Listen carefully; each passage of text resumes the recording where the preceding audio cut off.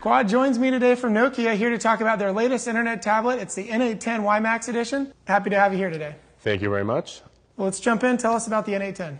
Well, the Nokia N810 gives you a full internet experience without carrying your laptop around. With the WiMAX and WLAN connectivity, you can be able to go anywhere you want and still have full access to the internet. Great, because everyone seems to want to be so tied into the internet these days. Can't be without it, so it seems like a great device. Entertainment's so important, so let's start out there. Walk us through the entertainment features on it. Well, the Nokia N810 will allow you to play your MP3s or any kind of music tracks, uh, watch videos, connect to the internet. You can also play games on it as well. Great. Well, I got to tell you, I'm a little bit confused because obviously I'm familiar with Wi-Fi, but WiMAX is kind of a new term. Why don't you explain what that is? Well, WiMAX is a new service and technology that it will be uh, rolling out in various cities in the U.S.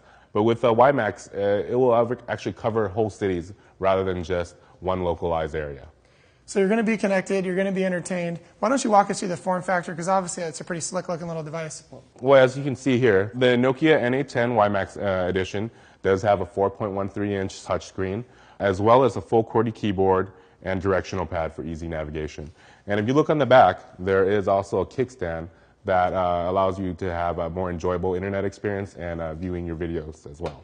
Yeah, absolutely. Uh, are there any other interesting features that are integrated that we need to know about? Yeah, the uh, Nokia N810 does have a built-in GPS with maps for the US and Canada, as well as two gigs of built-in memory with an option of adding another 8 gig via um, SD or micro SD card that brings it up to 10 gigs total. And in addition, it is an open uh, OS, so uh, developers will love this. They'll be able to build and customize their own Linux applications. Last question before we wrap up. Can you make phone calls with the N810? With the Nokia N810 and the built-in webcam, you're going to be able to do voice over IP calls. Excellent. Well, thank you so much for your time and all your information today, Qua. Uh, thank you very much, Drew. It is the N810 WiMAX. It's their latest internet tablet and available right now at buy.com, so check it out.